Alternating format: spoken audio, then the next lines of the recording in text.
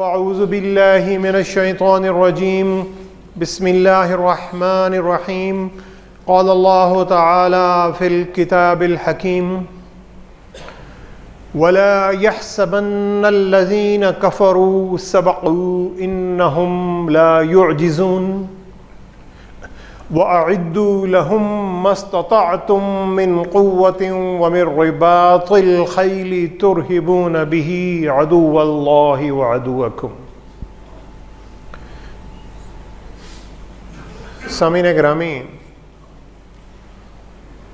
आजकल के हालात में उम्मत मुस्लिमा जिस जुल्म और बरबरीत के दौर से गुज़र रही है और फ़लस्तीन में गज़ा में मुसलमान मर्दों का, ख़वातीन का, बच्चों का कत्ल आम किया जा रहा है। इन हालात में क्या करना चाहिए? हमारा लाए अमल क्या होना चाहिए? रबालमीन के अहकाम क्या कहते हैं? और नबी करीम सल्लल्लाहु अलैहि वसल्लम की सुन्नत क्या है? अल्लाह ताला की सुन्नत क्या है? और प्यारे नबी सल्लल्लाहु अलैहि वसल्लम की, इन हालात में क्या सुन्नत है? कैसे हम इन हालात से निकल सकते हैं? किस तरह इन हालात का मुकाबला कर सकते हैं? आज के हमारे ख़ुतबे का यही मौजू है। सुरह अनफाल की आयत नंबर उनसठ और साठ आज के इस हमारे ख़ुतबे का मौजू है। नौवें पारे के आखिर में सूरह अनफाल और फिर दसवें पारे में सूरह तौबा। ये दो सूरतें हैं कि जिन दो सूरतों में रबालमीन ने जहाद फ़ी सबील्ला कताल फ़ी सबील्ला और किस तरह उम्मत मुस्लिमा ने अपनी हिफाजत करनी है और अल्लाह के दीन की हिफाजत करनी है, इन मामलात को बड़ी तफसील के साथ बयान किया। और सुरह अनफाल दर हकीकत गजब बदर के बाद नाजिल हुई। यानी गजब बदर में जब मुसलमान नबी करीम सल्लल्लाहु अलैहि वसल्लम की क़्यादत में फ़तह हासिल कर चुके थे तो अल्लाह ताला ने सूरह अनफाल उसके बाद नाजिल की। अगर सोचें तो शायद लगता है कि ये अल्लाह ताला को गजब बदर से पहले ये सूरत नाजिल करनी चाहिए थी। लेकिन एक गजबा हो रहा है, जंग हो रही है, जिसमें मुसलमान जीत चुके हैं और जीतने के बाद इस सूरत को नाजिल किया जा रहा है और इसलिए कि जो मुस्तबिल में आने वाले हालात हैं, नबी करीम सल्लल्लाहु अलैहि वसल्लम को और सहाबा इकराम को बताया जा रहा है कि आने वाले हालात इन हालात से कहीं ज़्यादा मुश्किल है। तुम्हें कई और मुसीबतों से गुजरना पड़ेगा, तकालीफ से गुजरना पड़ेगा। जंगें करनी पड़ेंगी, कताल करना पड़ेगा, और उसके लिए तुम्हें तैयारी करनी और फिर हमें साफ़ नज़र आता है कि गजब बदर के बाद गजब अहद होती है, जिसमें मुसलमान शिकस्त उठाते हैं, बहुत नुकसान उठाते हैं। फिर इसके बाद गजब अहजाब होती है, और फिर कई जंगें होती हैं, फिर फतह मक्का की मंजिल आती है। तो बताया ये जा रहा है कि अगर एक कामयाबी तुम्हें मिल गई है तो इस कामयाबी पर खुश होकर ना बैठ जाओ। इस कामयाबी पर इतराना ना शुरू कर दो। जैसे अक्सर हमारा ख्याल होता है कि हमारा माजी जो है बड़ा शानदार रहा है। मुसलमानों का माजी बहुत अच्छा रहा है। और हमें एक ये भी ख्याल होता है कि 1960 में 1950 में पाकिस्तान जो है, वो बहुत तरक्की के रास्ते पर चल रहा था। हो भी सकता है और शायद ऐसा होता भी हो और था भी। और ये भी कहा जाता है कि बहुत सारे अदारे हमारे बड़े तरक्की कर रहे थे।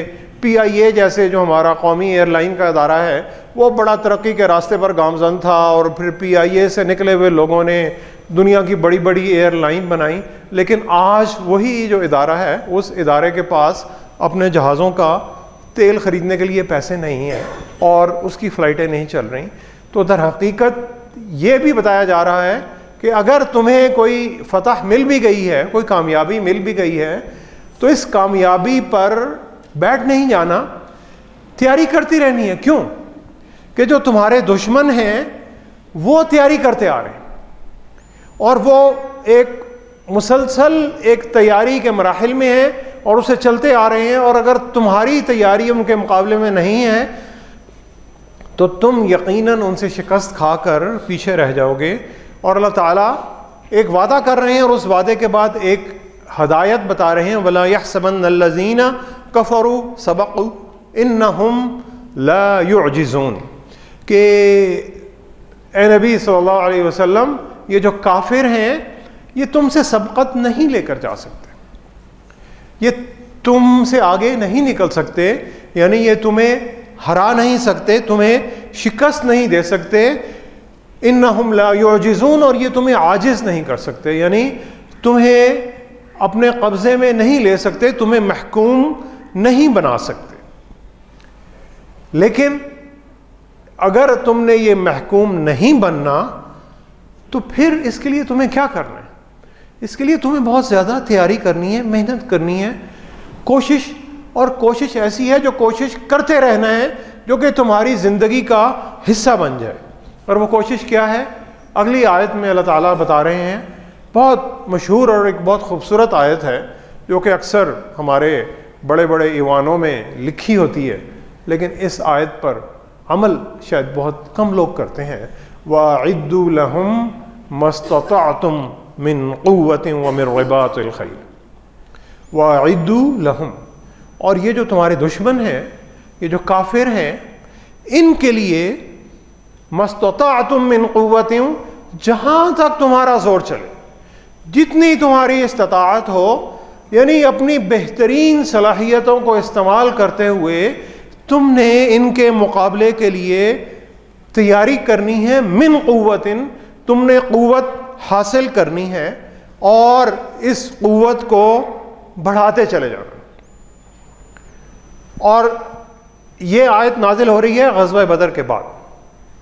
और गजवा बदर, नबी करीम सल्लल्लाहु अलैहि वसल्लम की क़्यादत में वो वाहिद जंग थी कि जिस जंग में रबालमीन ने मुसलमानों के एक बहुत से छोटे से लश्कर को एक बहुत बड़े लश्कर पर फतह दी। और वो इस तरह दी कि रबालमीन ने मुसलमानों की और नबी करीम सल्लल्लाहु अलैहि वसल्लम की मदद के लिए फ़रिश्ते भेजे। और वो भी ज़िक्र अल्लाह ताला ने इसी सूरह अनफाल में किया इस तस्तगीसून रब्बकुम ए नबी सल्लल्लाहु अलैहि वसल्लम, जब आप अपने रब से मदद मांग रहे थे, फस्तजाब लकुम तो हमने आपकी दुआ सुन ली, अन्नी मुमिद्दुकुम बेअल्फिम मिनल मलाइकति मुर्दिफिन।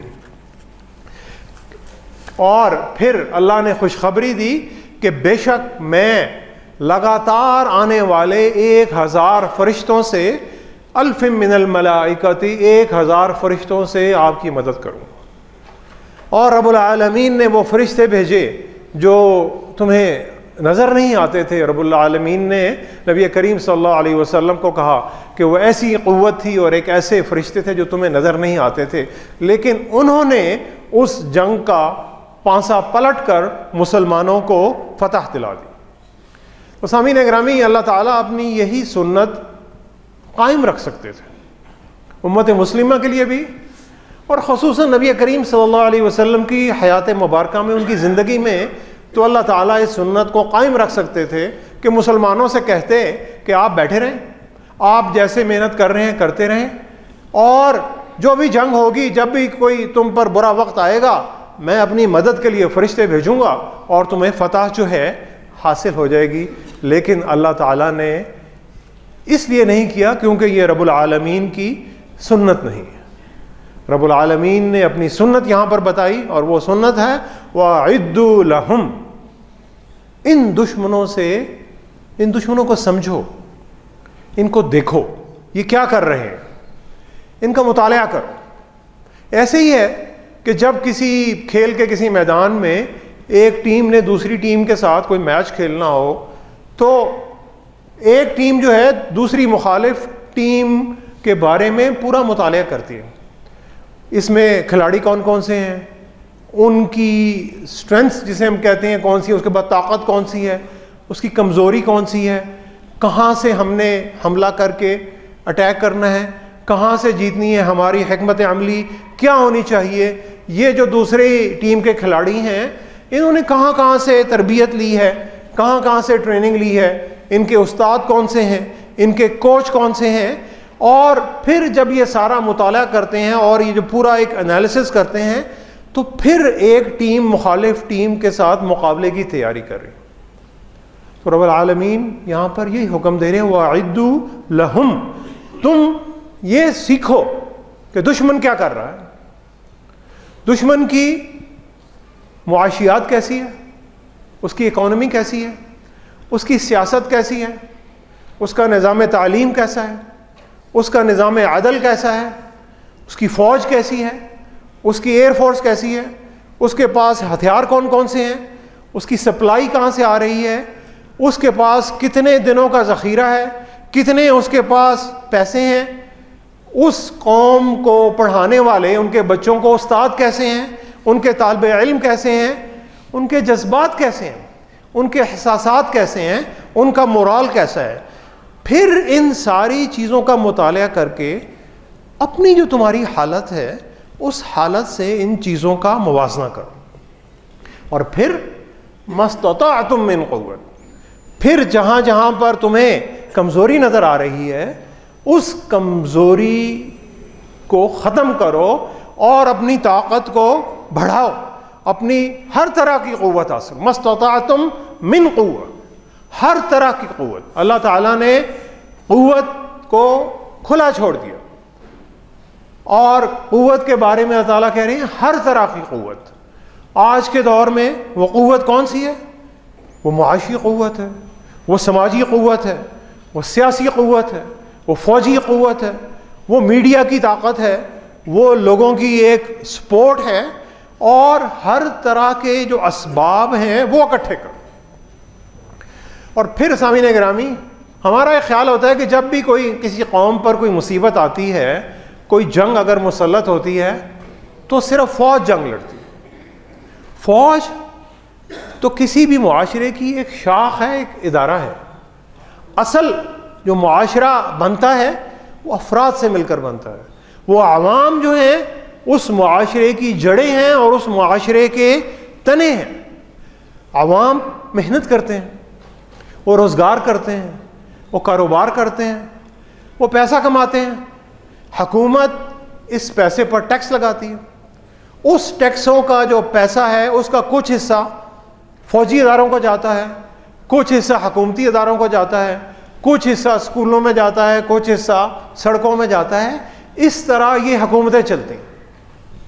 तो अक्सर जब हम बात करते हैं तो हम कहते हैं कि हम, हमारी हुकूमत अच्छी होनी चाहिए, हमारी हुकूमतें गैरतमंद होनी चाहिए, हमारे लीडर ईमानदार होने चाहिए। सही है, लेकिन सामीन ग्रामी जो हमारे लीडर हैं और जो हमारे अदारे हैं, वो भी तो आवाम ही की अक्सी हैं। जिस तरह के माशरे में ज़्यादातर लोग, उनका अखलाक और किरदार और ईमान होगा, इन अदारों में रहने वाले, जाने वाले लोगों का भी अखलाक और किरदार और ईमान उसी तरह होगा। तो सामीन ग्रामी जो मिन कुआ उसकी जो असास है, उसकी जो बेस है, उसकी जो बुनियाद और फाउंडेशन और जो तना बनता है, वो आवाम है। आवाम के पास जितनी दौलत होगी, जितनी ताकत होगी, जितना इल्म होगा, और जितनी सलाहियतें होंगी, हुकूमत और फौज और बाकी इदारे भी उतने ही ताकतवर होंगे ये नहीं हो सकता कि हुकूमत और इदारे जो हैं वो एक सुपर पावर हो और आवाम के पास ताकत ना हो। आवाम से ये ताकत ऊपर चलती है, मेरे और आप से ये बात ऊपर चलती है। तो आज के इस खुतबे में मैं किसी लीडरशिप को या किसी इस्लामी हुकूमतों पर तनकीद नहीं करना चाहता, क्योंकि उस तनकीद का कोई फ़ायदा नहीं। और वह तनकीद हम कई सालों से करते आ रहे हैं। असल में हर शख्स ने और हर अल्लाह के बंदे ने, और हर वो अल्लाह का बंदा जो नबी करीम सल्लल्लाहु अलैहि वसल्लम की उम्मती होने का दावेदार है, उसने अपने गरेबान में झांकना है कि मेरा किरदार क्या है? मैं पिछले दस साल में क्या था? और आज मैं किस मुकाम पर खड़ा हूँ? मैं आगे की तरफ़ बढ़ रहा हूँ? मिन कुआ हासिल कर रहा हूँ या नहीं कर रहा? अगर नहीं कर रहा तो अल्लाह के इस अहकाम पर अमल नहीं कर रहा। और फिर अल्लाह ने मिन कुआ का कहा और फिर अल्लाह ताला एक और खसूसियत की तरफ़ आ रहे हैं और वो बड़ी एक प्यारी खसूसियत है और वो कह रहे हैं वमिर रिबातुल खई और क़वत हासिल करो हर तरह की क़वत मुआशी क़वत सियासी क़वत अखलाक़ी क़वत समाजी क़वत हर तरह की क़वत हासिल करो और फिर तेज़ दौड़ने वाले घोड़े तैयार रखो। यानी जंग के मैदान में तेज़ दौड़ने वाले घोड़े रखो। लेकिन क्या कुरान के आने वाले अहकाम आज हमें ये बता रहे हैं कि तुम तेज़ दौड़ने वाले घोड़े रखो? हम नहीं रख सकते। लेकिन उन घोड़ों की खसूसियात का मताल करो कि अल्लाह ताला ने उन घोड़ों की पेशानियों में, जिसके बारे में नबी करीम सल्लल्लाहु अलैहि वसल्लम ने फरमाया कि अल्लाह ताला ने घोड़ों की पेशानियों में खैर रखी हुई तो घोड़ों की क्या खसूसियात होती हैं? घोड़े, घोड़ा एक वफादार जानवरों में से एक बहुत वफादार जानवर है। और घोड़ों की नज़र, जिसे वियन कहते हैं, वो बहुत वसी होती है। जैसे हम सामने देखते हैं तो हमें वो सामने और यहाँ तक नज़र आ रहा है। समझ लें कि 180 डिग्री की तरफ़ हम देख सकते हैं मुश्किल से। घोड़े पीछे की तरफ़ भी, यानी 300 डिग्री, वो एक ऐसा अल्लाह का एक ख़ास एक अल्लाह की मखलूक है, जो एक बहुत वसी वियन रखती है। फिर घोड़ों में कायदाना सलाहियतें होती हैं। घोड़े कोई भी चीज़ आप उनको सिखाना चाहें, वो बहुत जल्दी सीखते हैं। और फिर सबसे बड़ी बात कि घोड़े कम खर्च के साथ, यानी कम खुराक के साथ बहुत ज़्यादा ताकत पैदा करते यही ताकत जिसे आज की साइंसी ज़ुबान में हॉर्स पावर कहा जाता है। अगर आप एक चरखी है, एक चरखी के साथ एक रस्सी बांधें, रस्सी के एक तरफ़ पे आप घोड़े को बांधें और चरखी की दूसरी तरफ़ आप नीचे एक वज़न लटकाइए और वज़न जो है वो हो 250 किलोग्राम का। 250 किलोग्राम का वज़न आपने चरखी के साथ नीचे लगा दिया और अगर घोड़ा उसको और आम घोड़ा ये कर सकता है, एक सेकंड में उसको एक फुट ऊपर ले जा सकता है। तो इसे क्या कहते हैं? इसे एक हॉर्स पावर कहते हैं। ये और आपकी अगर गाड़ी, अगर 2000 सीसी की गाड़ी है तो तकरीबन 75 80 हॉर्स पावर की गाड़ी होती है। तो घोड़ा जो है, वो बिल्कुल कम से कम खर्चा करके एक बहुत ज़्यादा ताकत जो है, वो प्रोड्यूस कर सकता है। तो सामीन ग्रामी इस काम के लिए अगर हम कहते हैं कि पाकिस्तान की आबादी 24 करोड़ है, और यहाँ पर हमारी जो नौजवानों की जो तादाद है, वो इसमें से 60 फ़ीसद है, और जैसे हम कहते हैं कि वो एक बहुत बड़ा हमारा सरमाया है, लेकिन अगर उस सरमाए ने कोई प्रोडक्टिव काम करना है तो उन्होंने इलम में तरक्की करनी है, उन्होंने हुनर में तरक्की करनी है। उन्होंने इलम में तरक्की करनी है, उन्होंने हुनर में तरक्की करनी है। और अगर हम अपनी तालीम का जायज़ा लें तो बदकिस्मती से दुनिया में ऐसे ममालिक कि जिनमें सबसे ज़्यादा बच्चे स्कूल नहीं जाते, नीचे से, पाकिस्तान नीचे से दूसरे नंबर पे आ रहा है। यानी तकरीबन ढाई करोड़ बच्चे। और जो हमारे टोटल बच्चों की जो पॉपुलेशन है, जो तादाद है, उसमें से तकरीबन चौतालीस पैंतालीस फ़ीसद बच्चे जो हैं, वो स्कूल जाते ही नहीं। वो ना लिख सकते हैं, ना पढ़ सकते हैं। वो आज के इस दौर में 2023 में, और जिन्होंने आज से 20 साल बाद बड़े होना है, और जवान होना है, और इस मुल्क की क्यादत संभालनी है, उनमें से जो चौतालीस, पैंतालीस फ़ीसद बच्चे पढ़ भी नहीं सकते लिख भी नहीं सकते, स्कूल नहीं जाते, और फिर इस तालीम के साथ, इस हुनर के साथ, अगर हम समझते हैं कि हम उम्मत मुस्लिमा में एक कायदाना किरदार अदा कर सकेंगे तो सामीन ग्रामी दीवाने का ख्वाब हो सकता है, हकीकत नहीं हो सकती। नबी करीम सल्लल्लाहु अलैहि वसल्लम की सुन्नत नहीं है। अल्लाह ताला की सुन्नत नहीं है। इसका हकीकत से कोई ताल्लुक़ नहीं है। और ना ही रब्बुल आलमीन के अहकाम से इस चीज़ की कोई दलील मिलती। और फिर मस्तुम मिन क़वतिन तुमने पूरी सलाहियत इस्तेमाल करके, दिन रात एक करके, मेहनत करके करके अपनी इस क़वत को बढ़ाते चले जाना है। और फिर ये क़वत कितनी होनी चाहिए? दुश्मन का मुकाबला करना है तो क़वत कितनी होनी चाहिए? दुश्मन के मुकाबले में क़वत कितनी होनी चाहिए? ये फार्मूला भी रब्बुल आलमीन ने सूरह अनफाल की आयत नंबर छियासठ और पैंसठ में ये भी बता दिया। और वो ये है इकुम मिनकुम इशरूना सौबिरूना यगलिबू में अगर तुम में से बीस साबित कदम रहने वाले होंगे, इस बात को ज़रा गौर से सुनिए।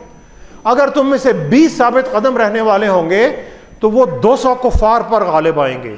वही यकुम मिन कुम में यगलिबू अल्फम मिनल्लजीन कफरू यफ़ून और अगर तुम में से एक सौ साबित कदम रहने वाले होंगे तो एक हज़ार कुफार पर गालिब आएँगे यानी एक मुसलमान दस काफिरों के मुकाबला कर सकता है, उनको शिकस्त दे सकता है। लेकिन सामीन ग्रामी ये गजब बदर की बात है।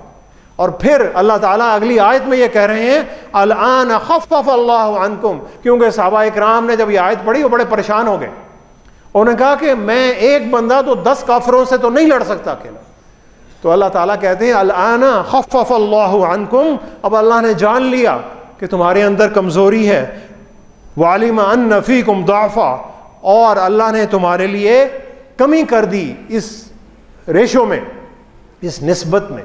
कमी करके तखफीफ करके फ़ैकुम मिन कुम में अतुन सौबरतुन यगलिबो में अब तुम में से अगर एक सौ साबित कदम रहने वाले होंगे तो वो दो सौ कुफार पर गालिब आएँगे। यानी तुम में से अगर सौ साबित कदम रहने वाले, ईमान वाले, अल्लाह के बंदे होंगे तो वो दो सौ कुफार पर गालिब आएँगे वहीं यकुम मिन कुम अल्फ यगलिबू अल्फ़ैन बेज़न और तुम में से अगर एक हज़ार साबित कदम रहने वाले होंगे तो वो दो हज़ार को फार पर गालिब आएँगे।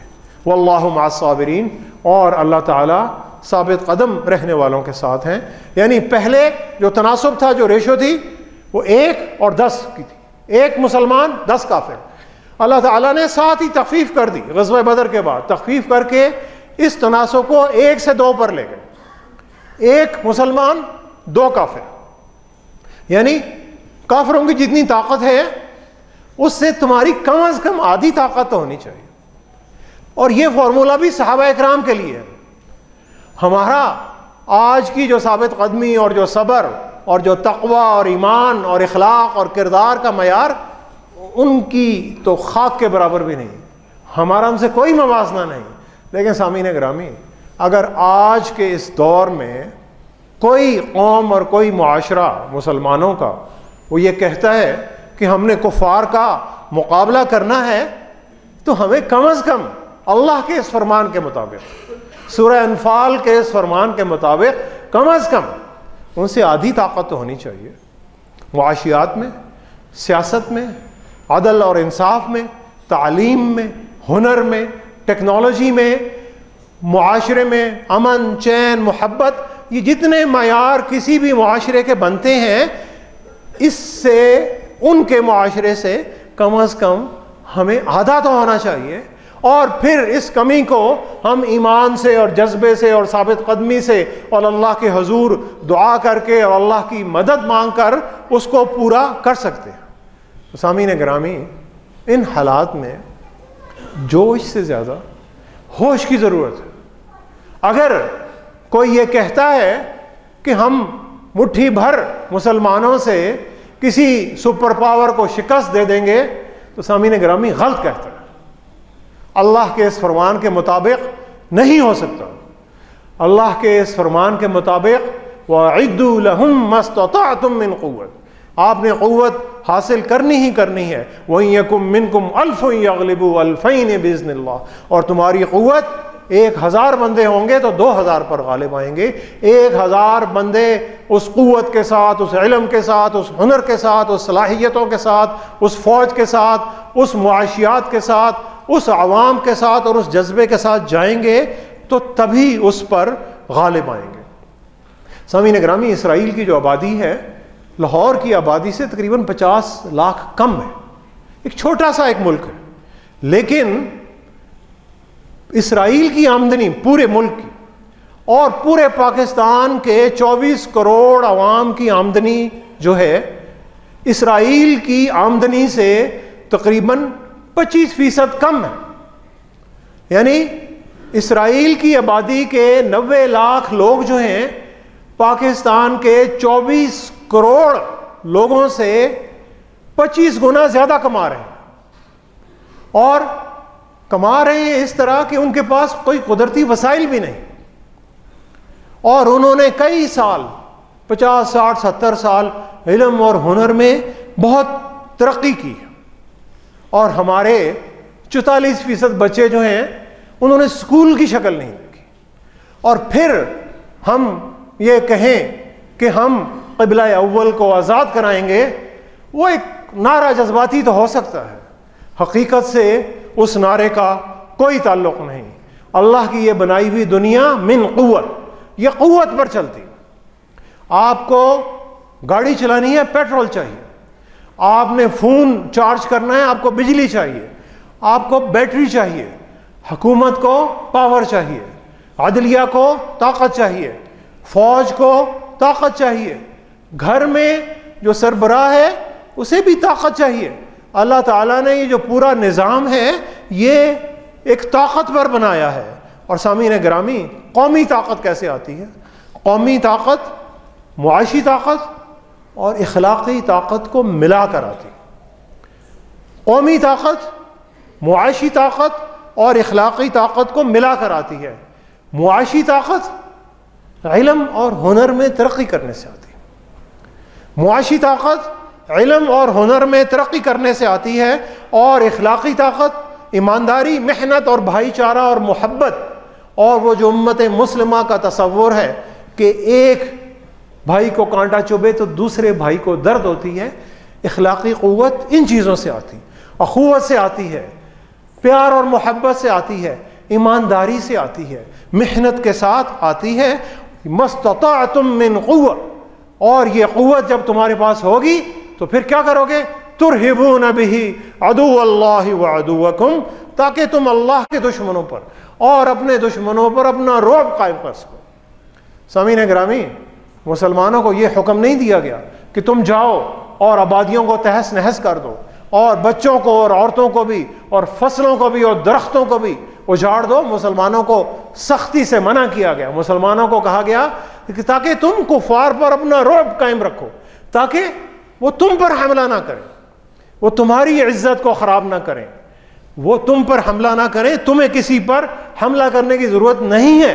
लेकिन किसी दुश्मन को तुम पर हमला करने की ज़रूरत भी ना हो, क्योंकि तुम्हारा रोब और दबदबा ऐसा कायम हो कि इनके पास इतनी क़ुत है, इस क़ुत से टक्कर नहीं ली जा सकती। तो सामीन ग्रामी, इसराइली मजालिम की मजम्मत ज़रूर करें। लेकिन मजम्मत से काम नहीं चलता। काम ताकत से चलता है, मिन क़वत से चलता है रिबात खैल से चलता है। मस्तता तुम मिन क़वत कि तुमने एक दिन रात उसके लिए मेहनत करनी है। तो क्या करें इसके लिए? एक छोटा सा फार्मूला मैं आपके लिए छोड़ना चाहता हूँ, अपने लिए भी, आपके लिए भी, कि दिन में सिर्फ़ पंद्रह मिनट पंद्रह मिनट के लिए कोई भी नया हुनर और इलम हासिल करने की ज़रूर कोशिश करें। पंद्रह मिनट वक्फ कर दें कि आपने कोई नई बात सीखनी है, कोई नया हुनर सीखना है, कोई नया इलम सीखना है। चाहे आप दीनी इलम सीखें, चाहे आप दुनियावी इलम सीखें, क्योंकि इस्लामी तस्वुर में दीनी और दुनियावी इलम जो है, वो इकट्ठे हो जाते हैं। अगर आपके पास मुआशियात अच्छी है और इखलाक अच्छा नहीं है तो फिर आप अल्लाह के दीन पर नहीं चल रहे। आपने अखलाकियात अल्लाह के दीन से लेना है और आपने इलम, जो मॉडर्न इलम है, वहाँ से हासिल करना है। तो पंद्रह मिनट के लिए कोई नया इलम हासिल करें। पंद्रह मिनट वक्फ करना बहुत आसान है। चाय का जितना एक कप पीने में वक्त लगता है, तकरीबन इतना ही वक्त। और कोई नई चीज़ पढ़े, कोई नया इलम हासिल करे, नया हुनर हासिल करे, कोई नया काम करे। और थोड़ा ज़्यादा काम करें, पंद्रह मिनट ज़्यादा काम करें। दफ्तर में हम दो दो घंटे लेट जाते हैं। कितना वक्त हम ज़ाया करते हैं, पंद्रह मिनट पहले जाएँ। क्यों? कि हमने इस मुआशरे को एक ताकतवर मुआशरा बनाना है और अल्लाह के दीन की सरबुलंदी के लिए काम करना है, मिन कुत को हासिल करना है। इसमें सरमायाकारी करें, अपनी इन्वेस्टमेंट करें, पंद्रह मिनट की इन्वेस्टमेंट करें और फिर देखें कि बीस साल बाद पाकिस्तान का ये जो माशरा है, ये किस तरह चराग से आप चराग चलाएँ? अपने आप को ठीक करें, अपने घर वालों को ठीक करें। अपने माहौल में जो लोग रहते हैं, उन्हें ठीक करने की भी ज़रूरत नहीं है। आप अगर ठीक होंगे तो लोग आपको देख कर ही ठीक होंगे। सामीन ग्रामी, यही एक लॉन्ग टर्म यानी एक लंबी मुद्दत के लिए एक लाए अमल है, और इसका सामीन ग्रामी कोई शॉर्टकट नहीं। अगर कोई कहता है तो वो अल्लाह की कुरान और नबी करीम सल्लल्लाहु अलैहि वसल्लम की सुन्नत से शायद उसकी कोई दलील दे नहीं सकता। फरिश्ते नहीं आएँगे, दुआएँ कबूल नहीं होंगी, जब तक उसमें अमल साल शामिल नहीं होगा, जब तक उसमें मेहनत और कोशिश और जज्बे को और इलम और हुनर को मिलाकर जब तक नहीं चलेंगे, हम यहीं पे रहेंगे और फिर हम कभी कश्मीर के लिए चीखेंगे, कभी हम बोस्निया के लिए चीखेंगे, कभी हम कोसोवो के लिए चीखेंगे, कभी हम अफ़गानिस्तान और इराक़ के लिए जुलूस निकालेंगे और कभी हम इसराइल की मजम्मत करेंगे। और पिछले पचास साल से मैं तो यही देखता आ रहा हूँ, आप लोग भी जो मेरे से बड़े हैं, बुज़ुर्ग हैं, वो भी यही देखते आ रहे हैं, जो नौजवान हैं, वो भी यही देखते आ रहे हैं। और इस तरह शायद पचास सौ साल और गुजर जाएँगे, उम्मत मुस्लिमा की हालत नहीं बदलेगी। सामीन ग्रामी दुआ करें कि अल्लाह ताला हमें इलम और हुनर में आगे बढ़ने की तोफ़ी अता फ़रमाए। अल्लाह ताला हमें मुआशी और सियासी क़वत में तरक्की करने की तोफ़ी अता फ़रमाए और रबालमीन फ़लस्तीन के मुसलमानों को सेहूनी जुल्म से आज़ादी अता फ़रमाए। सदक़ल्लाज़ीम वनफ़ानी वैयाकुम बियायाति व ज़िक्र इन्नहु ताला जवाद करीम मलिक बर रऊफ़ रहीम।